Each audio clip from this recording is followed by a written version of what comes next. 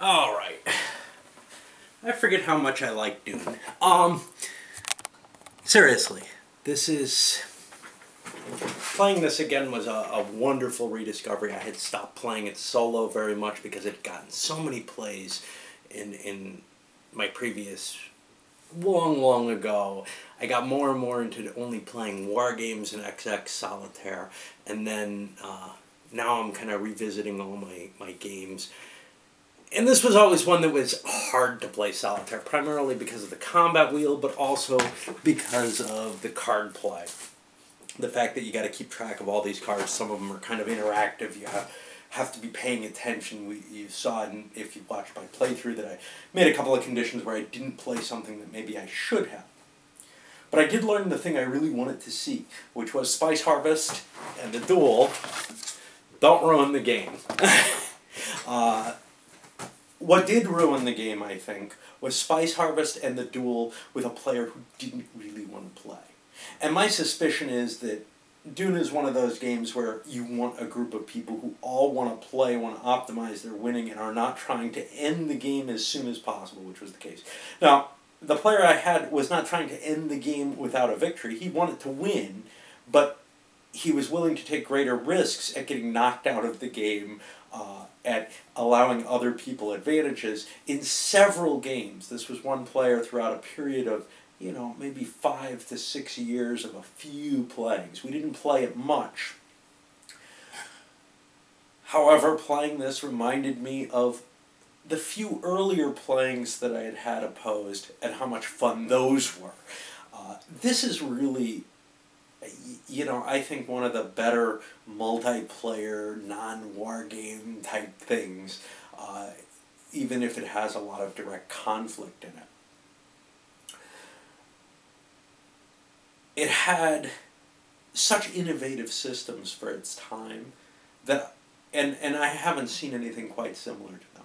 And you can look to the same design groups some of their other games, one in particular, Cosmic Encounter, as a good comparison to this.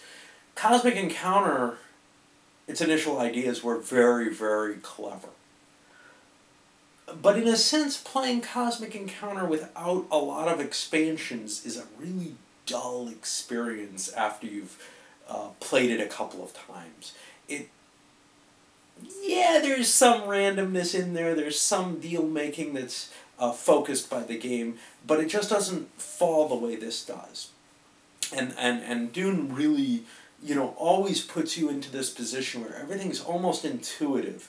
You understand. I got these space, and I looked at uh, Mercator Rex or whatever, and the board itself is enough to turn me off of the idea of that. The intuitive board of Dune, you know, it's your simple area, area uh, movement type system.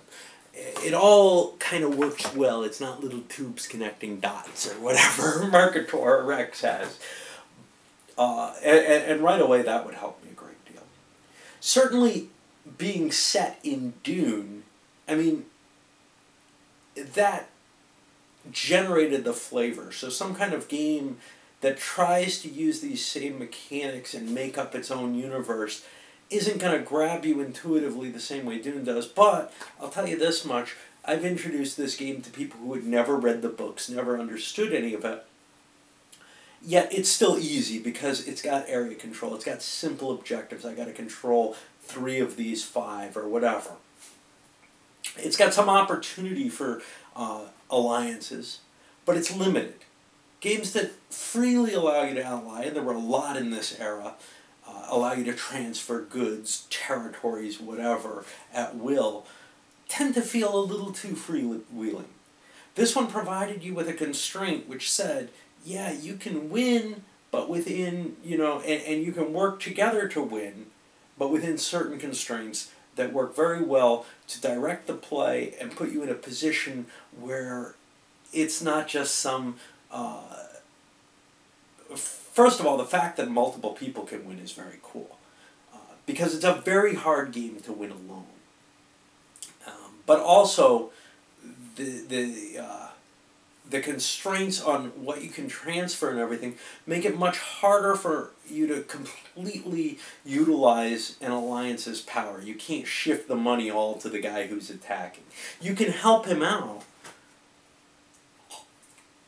by giving him money for his landings or for him to purchase uh, treachery cards, but you can't uh, completely allow the money to transfer in a way that say one player's in a position where hey we both win as an alliance if you win this battle so i'm going to give you everything at that moment. You have to make the decision to support them earlier when it's not obvious you're going to win and they may be willing to stab you later on or may not be able to com- follow through with that victory even if it looks like it'll be there the combat wheel really brilliant idea i love the uh, I am committing this much. I will lose this much to win the battle. I think that's a very, very cute diceless system. One of the few that really works well. You don't know if you're going to win or not, but you know you're going to lose so much. Uh, and in something this abstracted, I think it works very well.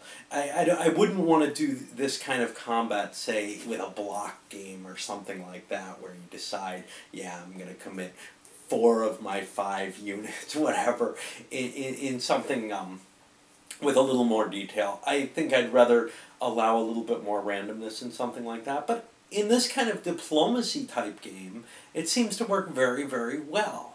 Uh,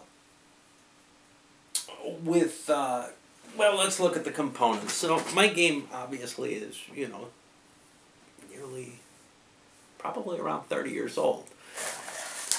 The box is beat up. I had to retape it because this was something I carried with me. The map, like I said, intuitive, very, very useful, very nice uh, little design. The only thing that I am iffy about is player seating order. Um, if you even if you randomize that, and with the fact that the turn order gets randomized, what's kind of screwy with it is there is some okay that guy's on my left i want to ally with him because of that which can kind of create some dynamics. Uh, the rules themselves although they're short and fairly easy they're kind of presented poorly in some ways uh, which is say first of all dividing it up into a basic game then an advanced game that changes some of the rules uh, and, and optional rules kind of squeezed in, and you kind of have to put that all together. You can't just read one rule set and say, yeah, this is it. But it's fairly short. It's eight pages of rules. It's a simple game. But then some of the rules, every card, uh, every card is covered on here. Everybody's got a copy of this, and then advanced powers are covered here because there was no room to put them, I guess, on the little player boxes this can be kind of disturbing, especially to newer players. They don't remember to look at everything. That's kind of a an issue. And then when you get to the expansions, that only um, exacerbates the situation because, yeah, you know, some of the cards aren't on there. They're on here. The cards are a big issue in and of themselves too. Kind of, the counters are, are perfectly fine. Uh, but the cards are kind of a situation that causes a problem they're kind of flimsy. Um, certainly if you sleeved them, but there weren't sleeves back in that day, and I'm not into that anyway. And then the biggest complaint I have is that the expansion and presumably uh, the second edition of Dune were printed in a different color background, which means that I can't mix my expansion cards in and not have them bloody obvious without putting some kind of back sleeve or something into play. But that's fun.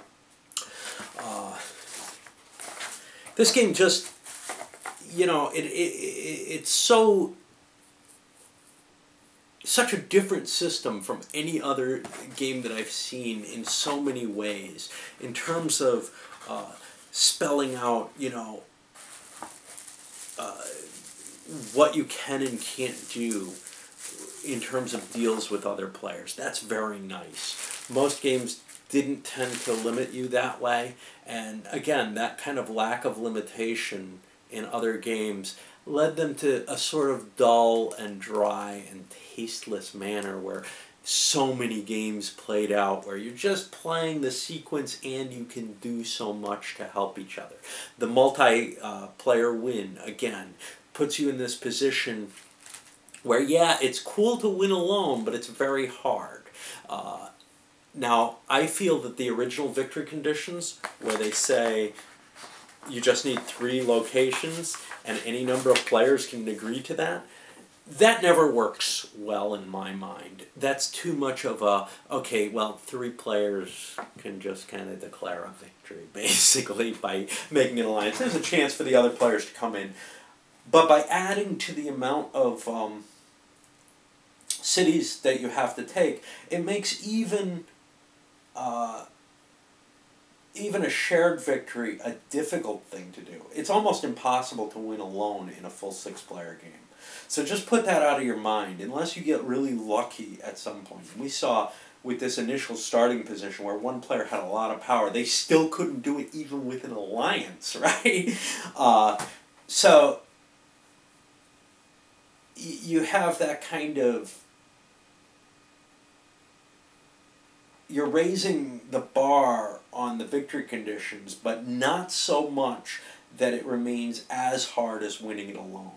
All the same, if I were playing this in some sort of tournament type situation, I would be thinking, well, if somebody wins it alone, they get like a full point. They get a half point if they win it shared with someone. Even with that harder condition, they get a third of a point sharing with two people. And, uh, well, a four player alliance would be impossible, right? Because there's only five cities. So then you could keep some sort of score for that in that sort of sense. How it would compare, you know, if you played lots of games in that kind of uh, division, I'm not sure. The other, uh, when I was running this for a tournament, the way I did it was a three round tournament. First game was basic game introduce everybody to the game, allow them to play it. Second, you know, even if they, they'd never played before. Second round would be add the advanced and optional rules. Maybe even throw in the Space Gamer thing, but I didn't want to do that because I have two sets and only one set of the Space Gamer cards. And then the third and final round, one table of it, would be uh, playing it out, and those would be the people who had scored the best on the first two tournaments. I had like three boards available to me actually because I had borrowed one. Um, that would have been the whole caboot with, uh, you know, with Spice Harvest to set it up and, and just totally shake everything up. And then the duel to add this additional uh, wow factor of you've got one potent leader and that really changes the game, who you can put into play, get you a powerful leader immune to uh, immune to being turned traitor, but you lose the game if you lose it. You just lose. Uh, that's a that's a really nice uh, addition there. The problem, of course, was I wasn't sure whether Spice Harvest and the duel would actually work well, but adding the complexity levels to each round seemed really cool to me and add up the scores. So the people in the first round would uh, you know maybe be able to walk away with a half a point or something the way I described it. The people in the second round would come in and be trying to add to that. And I could play the same number of tables in a second round or I could cut a table. And, but make sure that I have a couple of tables going there. And then the top six people would go and sit on that third table. And that would just be a winner or winners take all uh, type situation.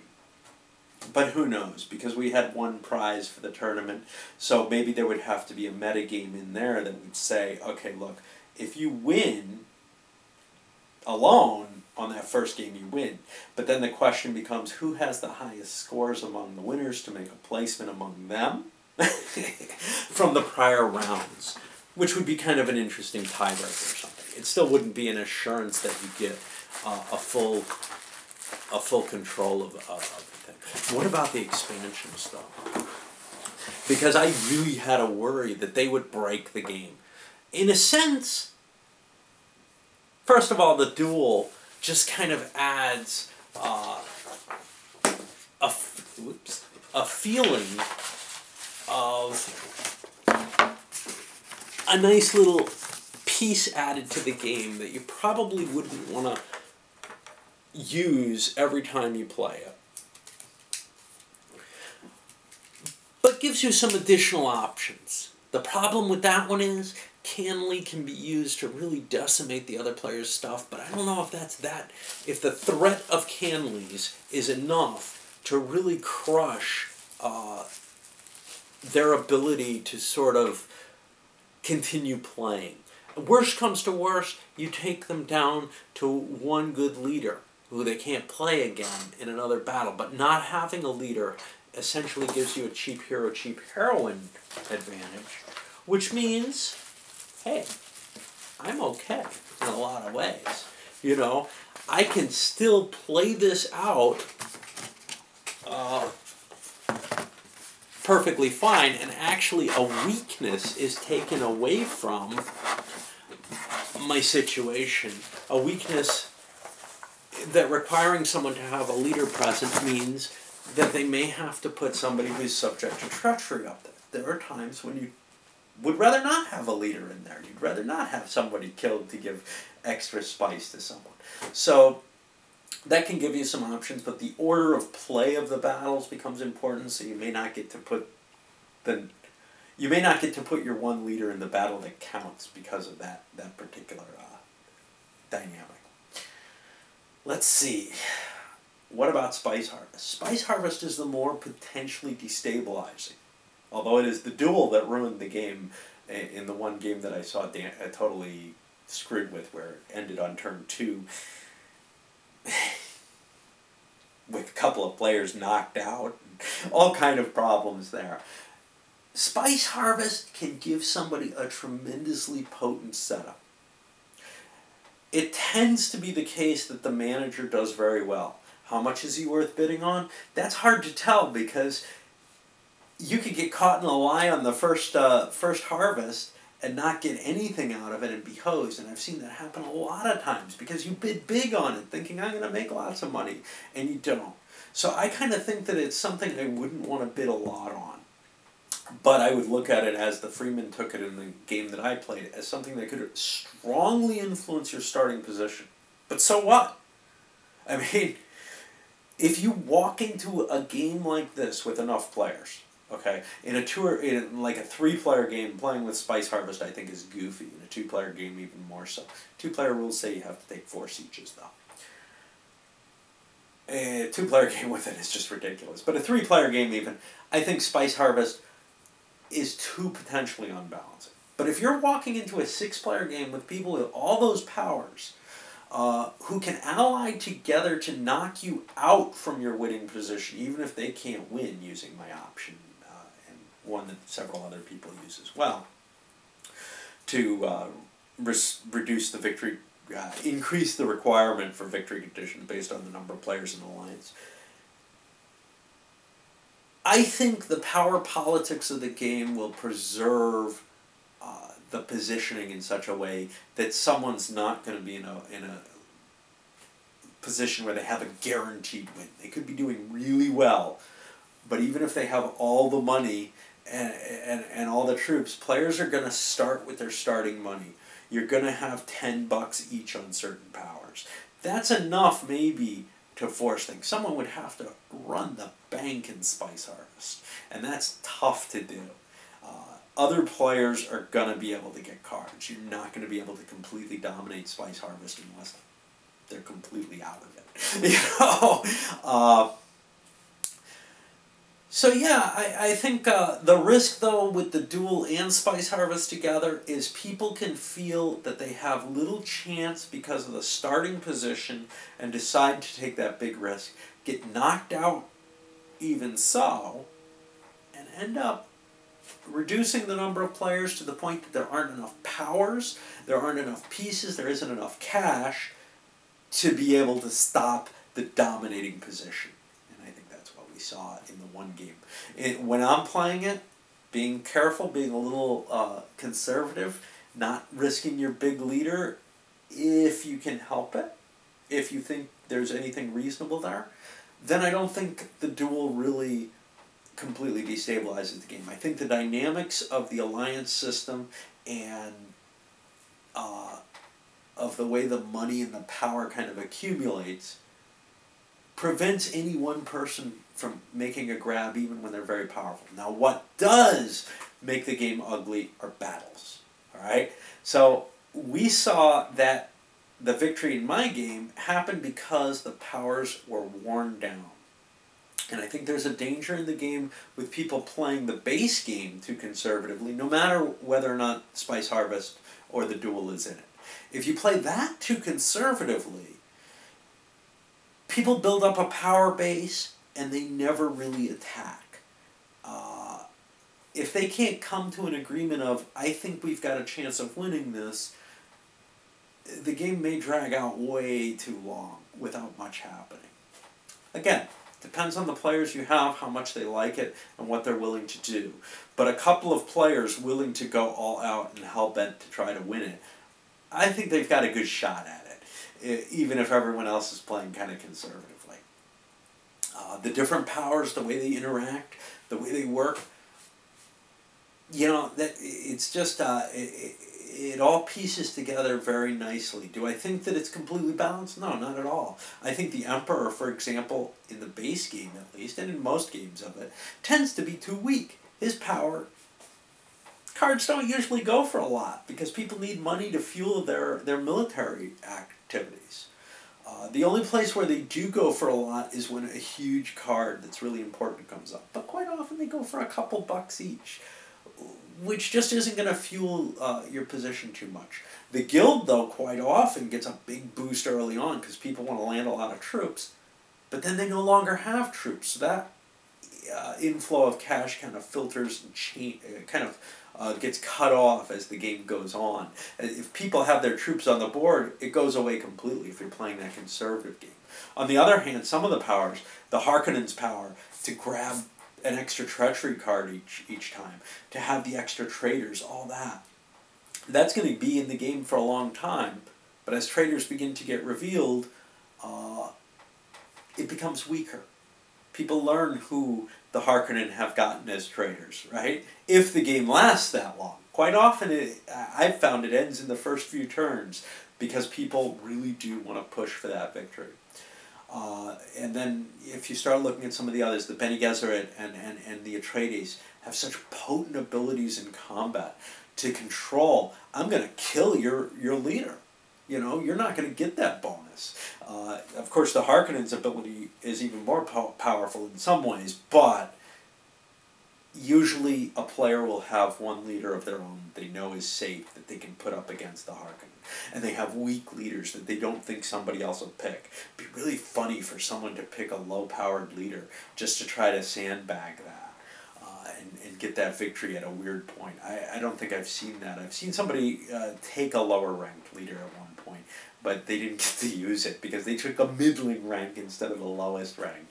Um, just I don't know. This it, I think this game develops differently in so many so many times that I've played it.